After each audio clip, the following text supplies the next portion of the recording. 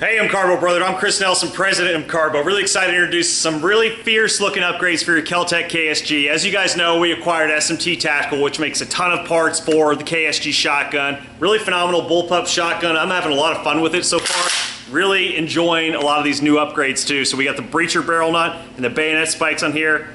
This is freaking serious hardware.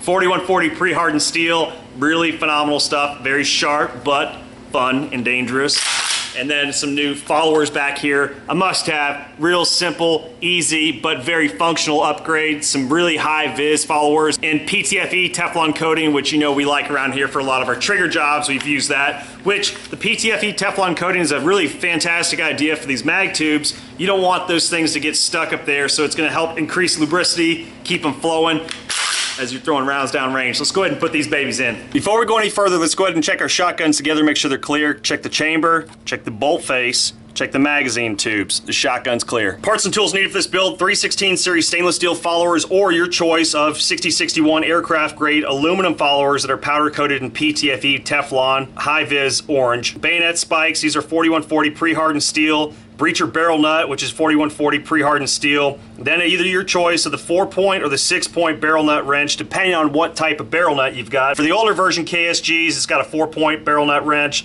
Newer production is the six point. You're also gonna need a KSG vise block, an amazing handy tool. Also the mag bolt wrench, your follower nut wrench, the 2.5 millimeter Allen key or T-handle wrench like I've got here, two 1 16th inch punches, 3 8 inch Allen key, a 7 8 socket and wrench, also a 7 8 crescent wrench. You're gonna need a piece of cardboard. Then you're also gonna need masking tape, bottle of CLP or gun oil. And as always guys, make sure you're wearing iPro. All right, first step is to remove the factory Pic rail. You notice that it actually locates on top of this mag plate right here. So it's two screws, one here, one here, just a two and a half millimeter Allen key. I'm just dropping it in the vise like that with a towel. It's good to go, not holding it down or cinching it down. And these things are on there pretty tight, so they'll snap loose on you.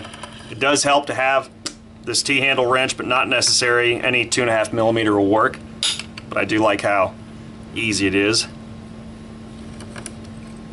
All right, take the rail off, set that aside.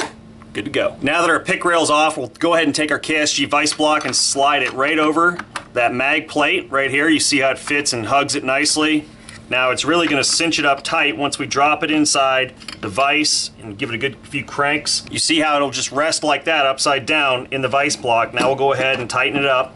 Now it does help if you rest your buttstock end of the KSG on something. Keep it all level. All right, really cranking it down here.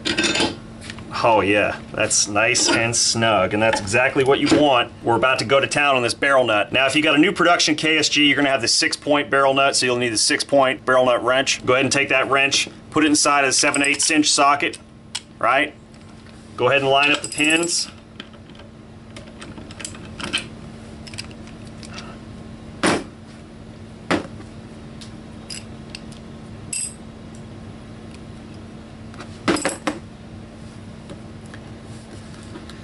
Now that our KSG is in the vise block good and tight, we're going to go ahead and take our six point barrel nut wrench. This is the newer production KSG, so it takes a six point barrel nut wrench. It's got six slots on it. If you've got an older production KSG, you're going to need the four point barrel nut wrench and you'll have four slots on your barrel nut. Take your barrel nut wrench, go ahead and put it inside a 7 8 inch socket. Then we're going to go ahead and line up the pins inside the wrench.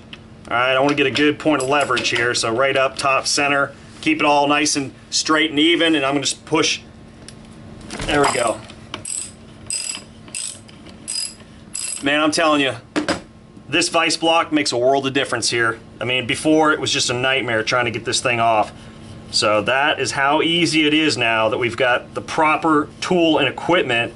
Really makes a night and day difference when it comes to taking off this barrel nut. I'm telling you, this vise block is a must-have. Has totally changed the way we disassemble the KSG now. Phenomenal tool, I must have, can't recommend it enough. Really recommend the KSG Vise Block. You can see how simple and easy that is. Now we're gonna go ahead and remove these two mag plugs. Now we're gonna take our mag plug wrench and we'll go ahead and loosen up both of these mag plugs right here. Now, it's a uniform set of turns per side. Now that's pretty snug, all right? And that's why it is helpful to have this actual geometry right here so that you can easily break these things loose. But I broke it loose and then I gave it another two turns, so I want to do the same over here, all right? So it's nice and lined up. You can see how it fits in there really well.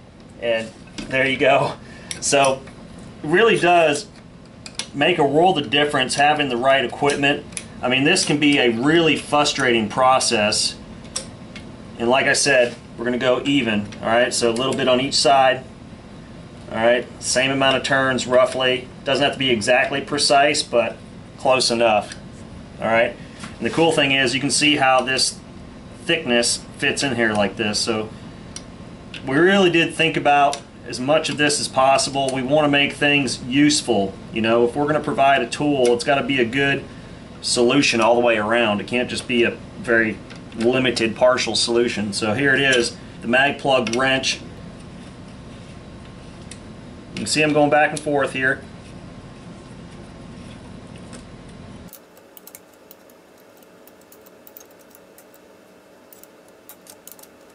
Alright, you'll know when you're at the end, it'll just keep spinning freely more or less, and at that point it's pretty clear that we are done unthreading these mag plugs and now we need to go ahead and move on to the next step. Next step is pretty simple. Now that we've loosened up these mag plugs we can go ahead and just pull back on the actual shotgun wiggling it up and down gently and it'll just come right out like that. Easy enough. And there's our mag plate still sitting in the KSG vise block. Solid, secure, good to go. Typically you wouldn't have to completely remove your mag plug. You can leave them retained in the actual mag plate itself. But since we're putting in the bayonet spikes we will have to remove these actual mag plugs. So let's go ahead and set up our vise so that we can do that. Loosen it up, and I'm going to reposition everything here.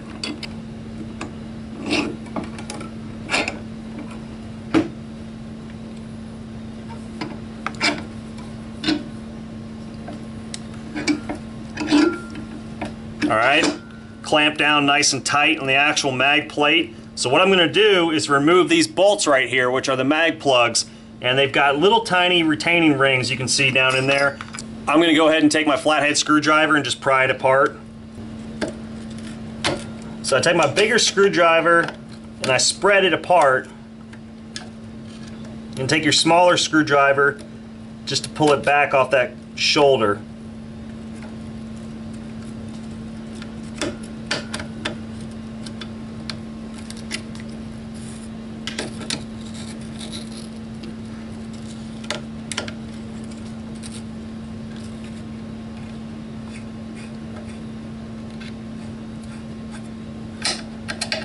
There you go. And just push it right through like that. So here's one mag plug out. Go ahead and set that aside. Go ahead and pull out the actual retaining ring as well. Set that aside. And we're to do the same over here. So go ahead and separate that ring with your bigger screwdriver. Just like that. Now we take our smaller screwdriver and pull it back. Got that bite, take your bigger one. There you go. Now we're pushing down on that bolt as well, trying to wiggle it out of there.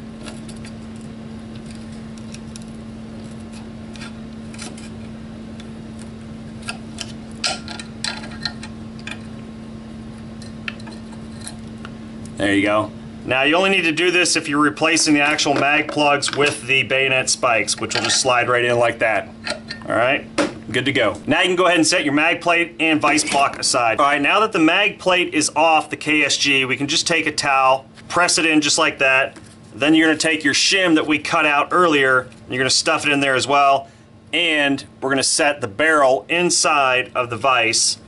Now the good thing is, is that we can get the whole barrel in there and then get a nice even pressure on it. We're not trying to crank it in so tight that we disfigure the barrel. We just want to get it snug, but you're just going to push down on top of the KSG as you're tightening it up and you just want it to be snug right there. When you start to feel that resistance, check it. There we go. It's good. We don't want to go any more than that. We don't want to crush the barrel. So that's good. Rock solid. Now that our barrel is located in the vise, all it is is held in by that towel and that piece of cardboard. So we can't really torque down like crazy on these. Fortunately, these two mag plugs aren't under a ton of torque and this tool is going to assist with that. So it will make it a lot easier, more uniform you can see with this tool, there's two notches there. These two notches will locate into any of the four notches here. So either like that or like that, doesn't matter. And then the bolt is gonna go in and you're just gonna snug it up by hand and then give it a quarter turn with your 3 8 inch Allen key. All right. Yeah, make sure that barrel doesn't slide around on you. It's going to naturally want to. There's not a whole lot of gripping power doing it this way. This is exactly why we don't do it this way for the barrel nut because the barrel nut's under so much torque. Well, you just tear up your whole firearm doing that. Now go ahead and take your 7 8 inch deep socket, go ahead and slide it right over the mag plug tool, and we're going to loosen it right up.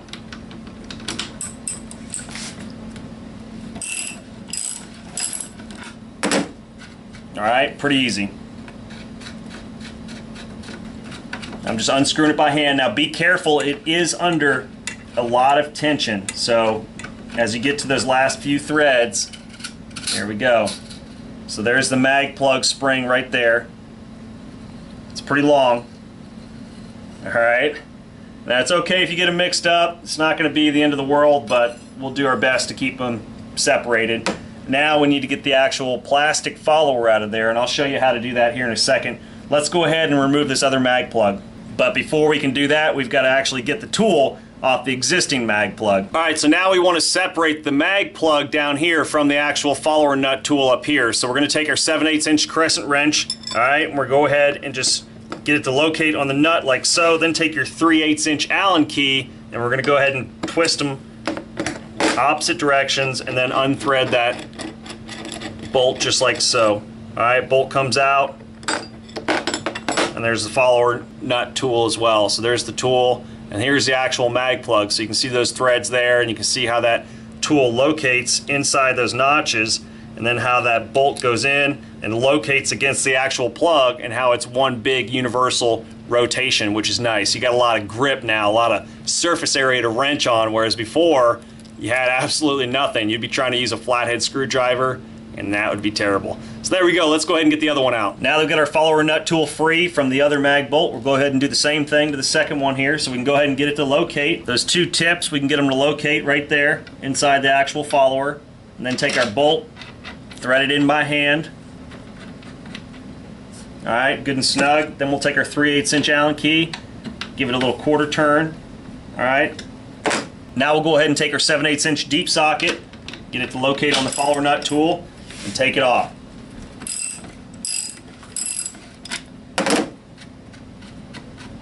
Easy as that. Really makes the world of difference having the right equipment. All right, be careful. It is under tension. So we're getting to the end there.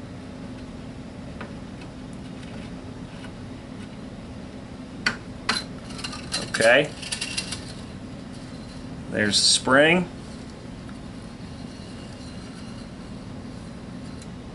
And we'll keep it separated. Not the end of the world if they got mixed up. Now this time we can go ahead and leave the follower with the follower nut tool for just a second. We might as well go ahead and replace these followers now and then we're going to need this to put it back together anyway. So we'll leave it together right here, right now. Now to remove your followers, here's a neat little trick. Now make sure that your selector switch is in the center and then you're going to go ahead and take one of those springs that we just removed from the mag tube and use that spring. Now carefully, you're pushing the plastic follower out with the actual spring, all right? Okay, until you feel that resistance, you know you've got it to the end. Now just be careful when you're removing this spring, make sure your lifter is all the way down, all right? You don't want that to grab your spring. And that's it. Real simple, no risk of damaging the spring as long as you're paying attention as you're removing it. You don't want to stretch the spring, of course. All right, so we got one follower pushed all the way down. Now let's push the other one all the way down. This makes it so much easier. And just take your time with it. No need to be in a real rush. There, I got one completely out right there. That was easy. All right, boom. Spring is intact, good to go and that made life a lot simpler. So we got the plastic followers out. Now let's go ahead and put some improved followers in there. Well, there you go, guys. There they are stacked up against each other. You got your factory plastic followers here. You got your 316 stainless steel followers here, and you got your PTFE Teflon coated followers right here in high vis orange, which is really easy to see. I'm a huge fan of these. I really do like them, but I'm also a huge fan of the stainless. It's really a toss up between the two. Which one is better? You got a few different schools of thought here. Obviously, the bigger hole is easier to clean, but also allows in some more dirt than the smaller hole. It's just just preference. Whatever it comes down to, your choice. Either way, they're far superior over the plastic ones. You just can't beat stainless steel and then PTFE coated aluminum. Phenomenal followers. These you know, whatever. These are just factory. Not everybody wants to upgrade this stuff, so it's you know, it helps keep costs down. But now you can go ahead and make these improvements yourself, and it's much easier to see these, and that's a big bonus. Either way, it's much easier to see when you're out of ammo with the stainless steel or the orange Teflon. You got a major advantage there, just being able to see it of your peripheral. When one tube's empty, you know to switch to the other. Let's go ahead and put the orange followers in. I'm excited to see what these look like. All right, so take your CLP or gun oil, any kind is fine, and go ahead and just coat them up real nice, just so it helps with the installation and also just good to keep them nice and lubricated. You want them to just slide through there like butter. All right, now we'll go ahead and insert one in each tube. All right, obviously this face going forward.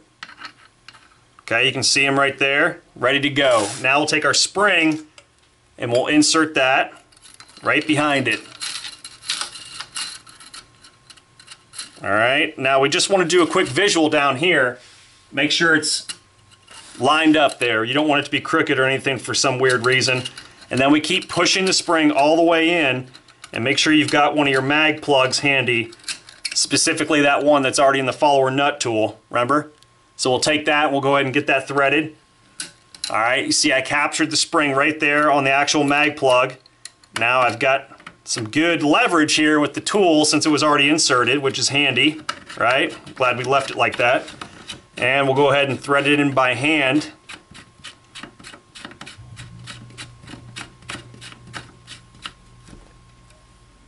All right, hand tight.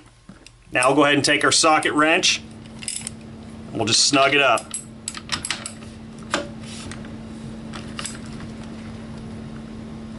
All right, good to go. Now we'll take our 3 8 inch wrench, break it loose,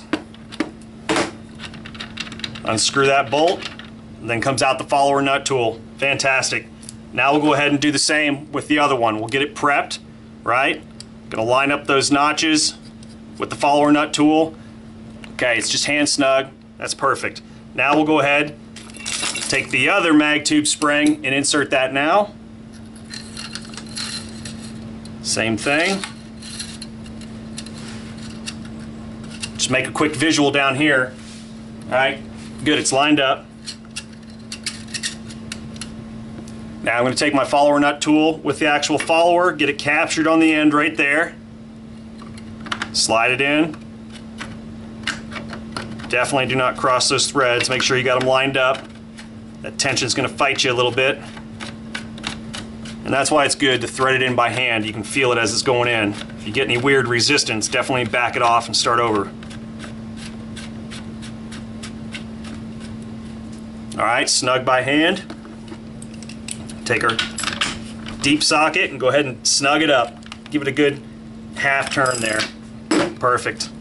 Now we'll take our 3 8 inch Allen key, go ahead and break that bolt loose, and remove our follower nut tool. Real handy to have this.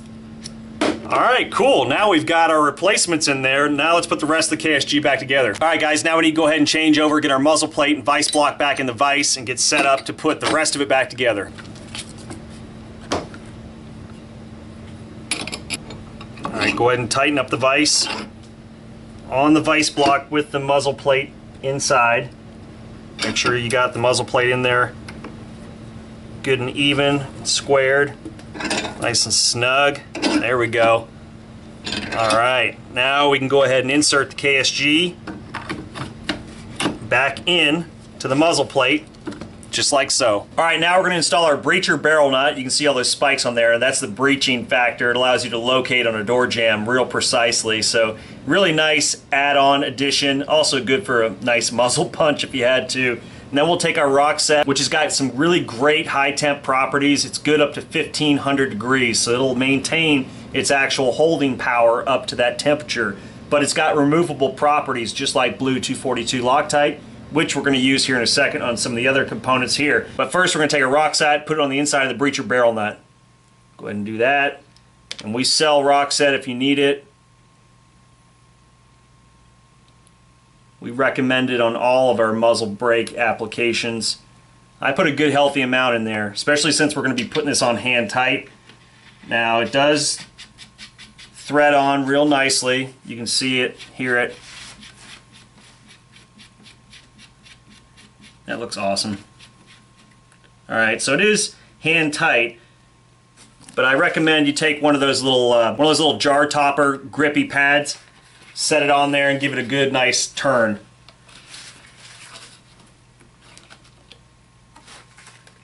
That's real solid.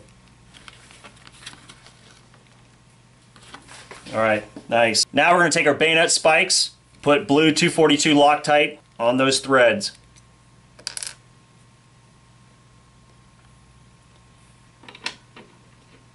You can use a good healthy amount.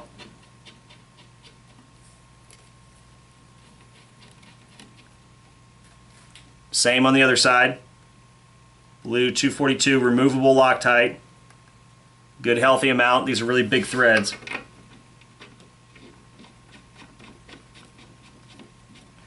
See it coming together already. Look at that. Now we're going to take our 3 quarter inch crescent wrench and really snug them down.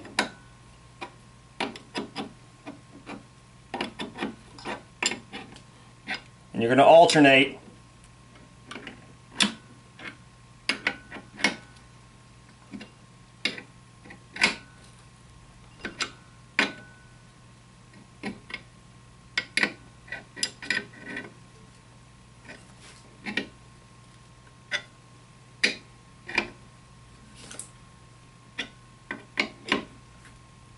All right, once they're good and snug, you'll know it. There we go, solid. Man, that looks awesome already, look at that. Woo! All right, all right guys, near the finish line now. So let's go ahead and pop it out, flip it around, put that Picatinny rail back on.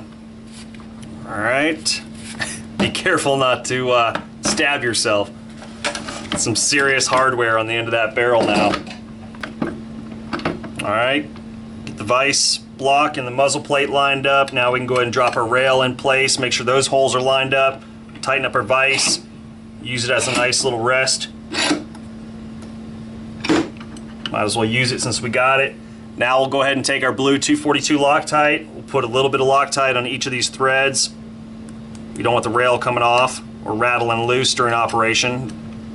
There's only two screws holding it in place. All right.